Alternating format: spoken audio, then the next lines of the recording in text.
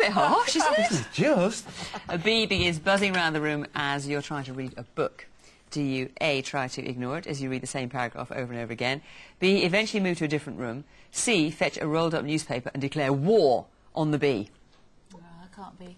If you were a bee now, I'd roll. No, if you were a bee now, no, I just, I think, I almost feel when there's little insects buzzing around that it's their place to be there and not mine. And I always feel like I'm imposing on their company. Good grief. right, let's see how our stars on screen react to a troublesome bee. As a great admirer of Buddhists, although not one, I wouldn't harm the bee, but as a lazy man, neither would I move from the room. I'd like to coexist with the bee. So it's option A. I could never, ever, ever kill a bee. I love bees. I would, I would leave the room and let the bee have that room. Option B. I would get a glass and a newspaper. I would hold it in the glass and let it go, but I couldn't sit and read my paper. So um, it's got to be C, but in a humane way. What did Yorkshireman Dickie Bird do? He's a no-nonsense man, but he's also a very, very nice man. Now, I think the clue here is the fact that it's a bee and not a fly. Okay. That's what everyone else has said, haven't they? All got a soft spot for bees. Go with your instincts. A. A, Dickie would try to ignore it. Let's have a look. I'd get a roll-up newspaper and I'd do everything possible to catch that bee. So I'm going for C. loves Big nature. swatting for that. Yeah, never sorry about that. OK, last question in this round. It's worth a point. I don't think anyone's got any points so far, and it's for you, Perry. Have a look at this news clip of Bjork trying to keep a lid on her temper, but failing. Maybe it was the pressure of the press. Perhaps it was the jet lag. Whatever, it took just one reporter and a simple greeting, welcome to Bangkok, for the pop star to lose that Icelandic cool.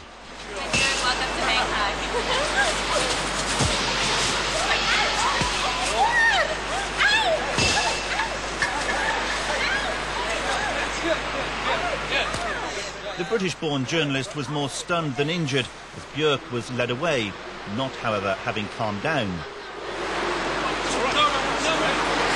Later, her record company said the reporter had been pestering her for four days. She really went for it, didn't she? She wasn't so quiet there, was she? goodness.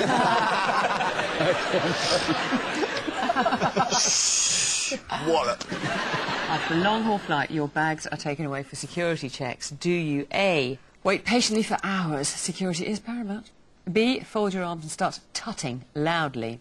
C. Sit on the carousel in protest until your bags are returned. Hmm, well, what would our stars on screen do? Security is paramount these days. Safety comes first, so it's going to be A. And I could always start singing to hurry them up. It's happened to me when I've come back from Everest. God help them, I thought, because the smell would be dreadful inside. All those clothes unwashed for 20 weeks on Mount Everest. So I, I would wait patiently. That's what I do, like I did then. So I choose A. I've got one of the loudest tuts in the business, so there would be a lot of arm folding and tutting and glaring going on. It would be option B. Now, what would Vanessa Feltz do? I can't imagine Vanessa waiting patiently, but although security might be important to her, It might be paramount. it might be paramount. I think B, don't you? It's, I'll go with you if you think B. B for Va- Vanessa, yeah. Vanessa Feltz, B. Let's have a look. I'm only human. I'm not going to be kept waiting after a long haul flight without making some kind of fuss. The answer is B. I'd tut. There you are. Well done. That's a point to you, Alan and Perry. So at the end of this round, Simon and Jenny with none, but Alan and Perry with one.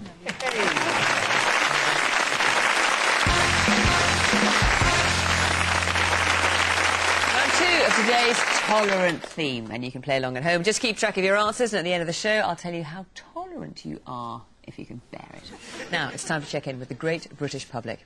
Here they all are.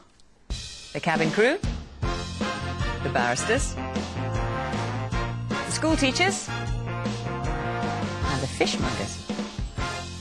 There's a point on offer for each question, and to earn your points in this round, you'll have to predict how tolerant we Brits really are.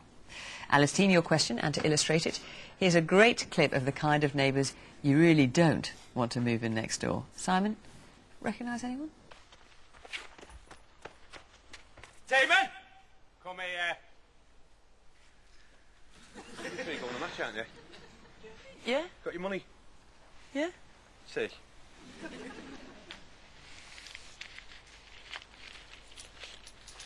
haven't? Right, that'll do nicely, thank you. What for? For paint and brushes to clear that mess up. What? You Ed. Now you two, up it, you inside. I hate that. Now, scram! Soft lad. You? You? What for? Oh, hey, Dad. Oh, yes. How long Thank, does that take you to learn your script? thank you very much indeed for that. Well, there was Jean spray painted on. hey, tell you what, tighter the better, mate. It's 10.20 p.m. Your next-door neighbour's party is keeping you awake with loud music and revelry. Do you A, accept you can't expect them to live by your rules and try to get some sleep?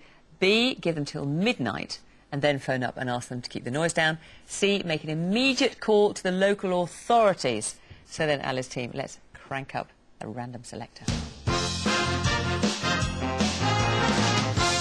So it's our fishmongers